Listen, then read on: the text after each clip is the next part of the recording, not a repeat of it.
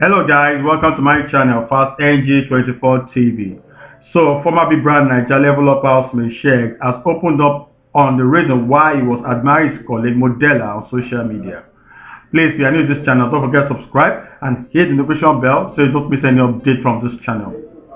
Recall, Sheggz was caught checking out Modella 24 hours after Bella during a media tour noted she can't confirm if her relationship with Sheggz will continue or not.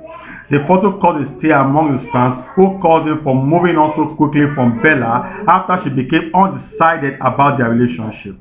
Speaking after the backlash, Sheggz, who noted that Modella is just a friend, during an Instagram live session on Friday, clarified his stance relationship-wise on Modella. According to Sheggz, Modella has been dropping some mad looks and he could not but help admire her. He also maintained that Modella is like a sister to him and nothing more.